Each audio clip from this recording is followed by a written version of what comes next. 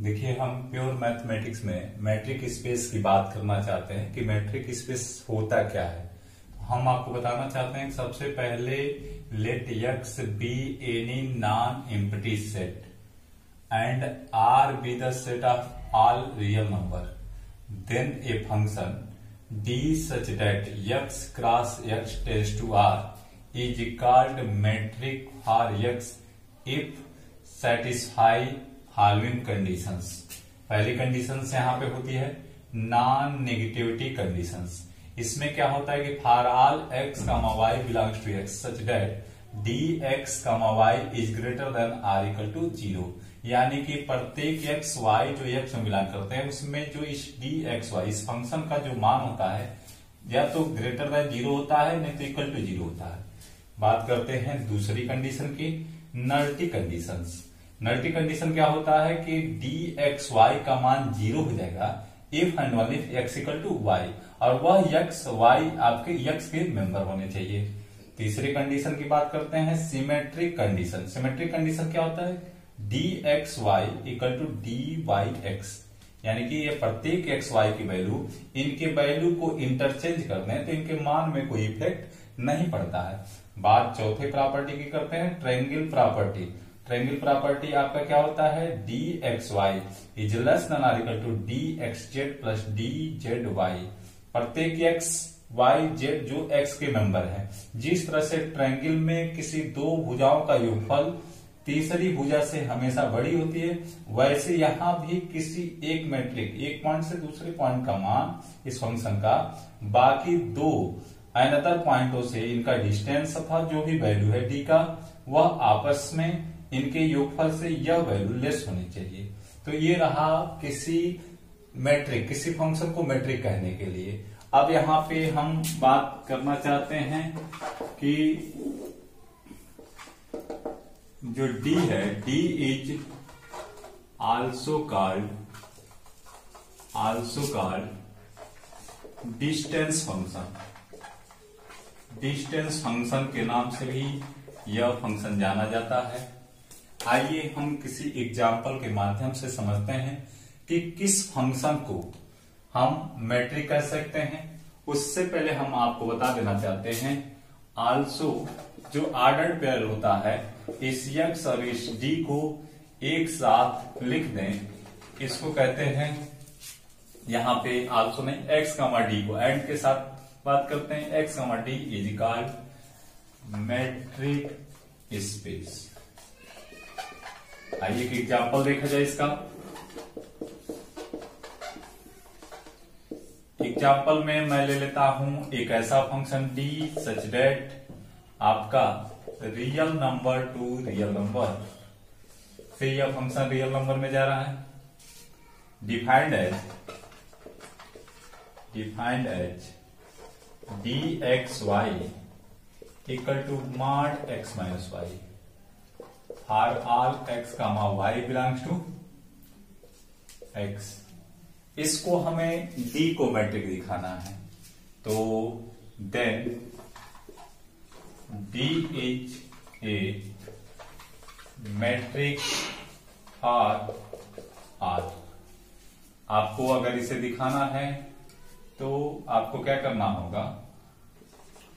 D is metric for R.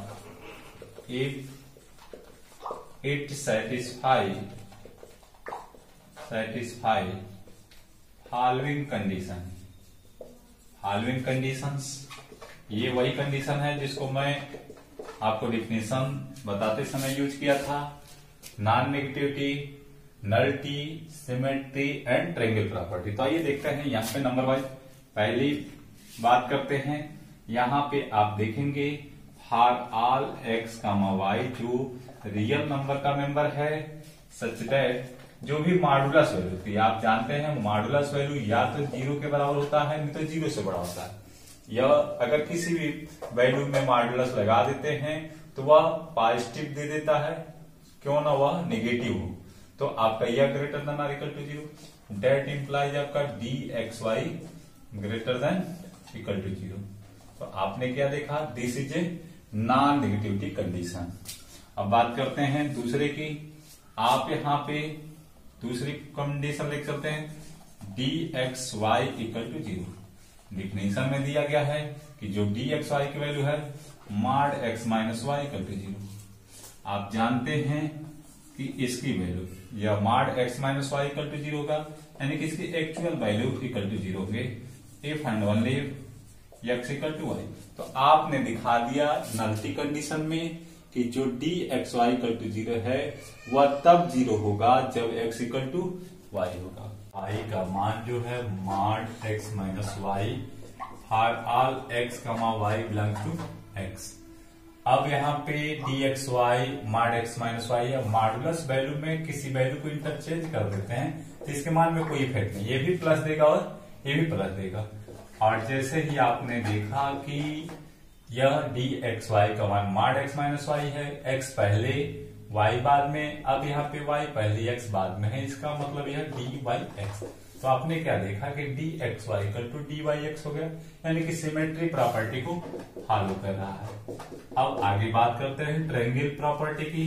तो आप जानते हैं, फाराल एक्स का वाई एंड जेड के बारे में, जो रियल नंबर में करते हैं। आप देखिएगा, जो मैंने एक्स लिखा है, उसको मैंने आर लेके चला हूँ।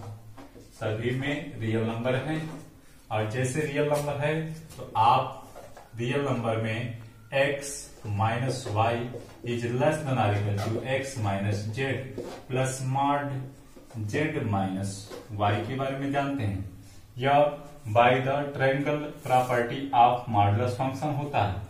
और चूँकि d X minus Y modulus में d X Y is less than or equal to d X Z और प्लस डी जेड वाई तो आपने क्या देखा कि यहाँ पे यह जो डी एक ऐसा फ़ंक्शन है जो रियल नंबर से रियल नंबर में जा रहा एक्स इक्वल टू आर है और इस तरह से डिफाइंड है तो इन्होंने सेटिस्फाई किया कौन सा फ़ंक्शन सबसे पहले पहली वैल्यू कि वह नॉन नेगेटिविटी कंडीशन को रखता है। यानी कि प्रत्येक एक्स वाई जो रियल नंबर में है such that mod X minus Y is greater than or equal to zero यह डिफिनेशन कहता है कि d X Y is greater than or equal to zero यानी कि नॉन नेगेटिविटी हुआ। अब बात करते हैं सिमेट्रिक कंडीशन क्या आपने देखा कि डी एक्स वाई ज़ीरो है तो इफ़ एंड वन इफ़ यदि और यदि एक्स इक्वल टू वाई हुआ। और जैसे ही आपने यहाँ पे नल्टी कंडीशन दिखाया हम सिमेट्रिक कंडीशन की बात यहाँ पे की d X Y equal to d Y X तो आपने देखा कि यह सिमेट्रिक कंडीशन को भी सेटिस्फाई किया और हम ट्रेंगल इनक्वालिटी भी यहाँ पे दिखाया कि X minus Y less than or equal to mod X minus Z plus Z minus Y इसका मतलब d X Y by the definition जो डिफाइंड है आपका, वहाँ से डी एक्स वाई हो जाएगा डी एक्स जेड हो जाएगा डी जेड वाई हो जाएगा। तो यहाँ से आपको क्या देखने को मिलता है?